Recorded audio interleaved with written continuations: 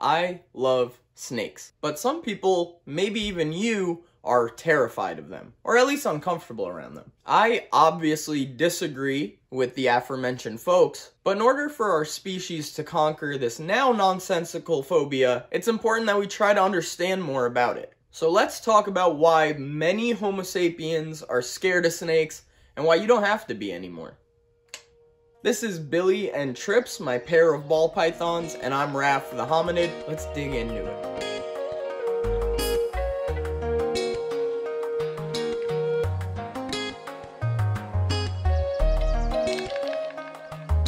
As it turns out, about half of us are uncomfortable about snakes, and one third of us have a more intense fear of these beautiful beasts. It's easy to assume that parents teach their children this fear, and it's sort of a learned thing. But some clues in our evolutionary story hint that this fear is much more natural. First of all, ever since reptiles and snakes branched off of each other and snakes ended up evolving, our lineage was prime snake food. Phylogenetically speaking, primates, that's us, are very close cousins to the rodents, which turns out to be one of snakes' favorite food. In fact, we shared the exact same lineage with rodents up until about 75 million years ago, which is indeed a long time. But evolution moves more like a tortoise than a hare.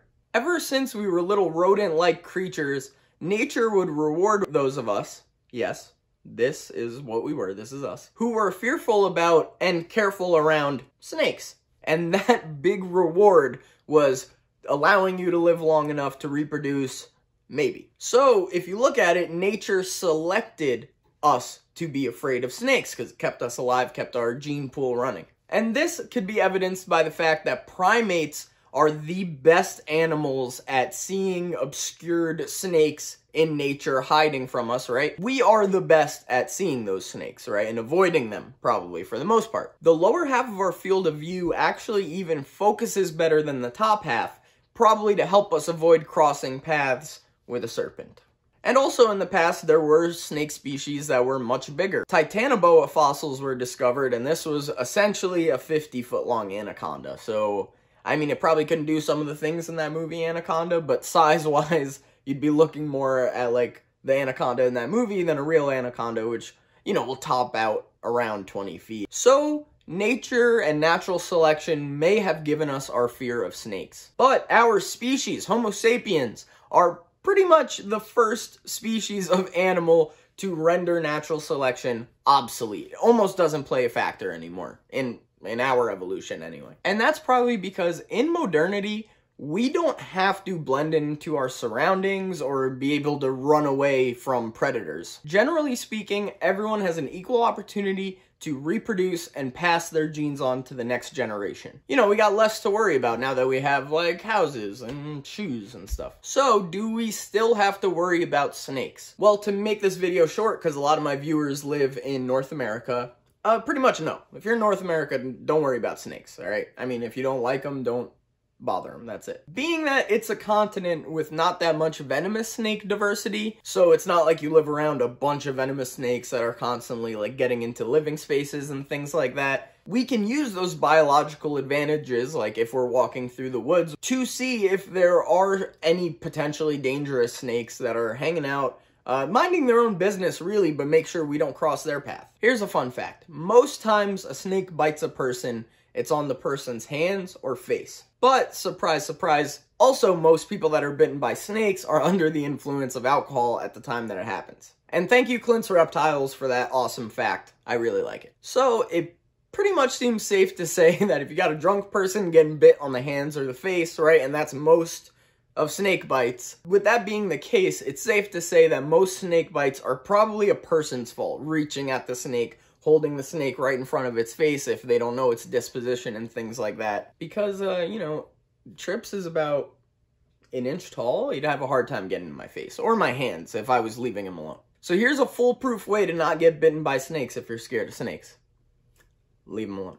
You leave snake alone, snake leaves you alone. In fact, our American forefathers knew this. Even if you don't agree with the sentiment of the flag the way it's used today, hear me out. The Don't Tread on Me flag has a timber rattlesnake on it. You know why? because when settlers got over here from Europe, they're probably running around the woods in the northeast United States and they're like, hey, let's kill that snake. And they went up to it and they were stomping it out and it bit one of them and they died. Then they found out, hey, if we don't bother the snake, snake doesn't bother us.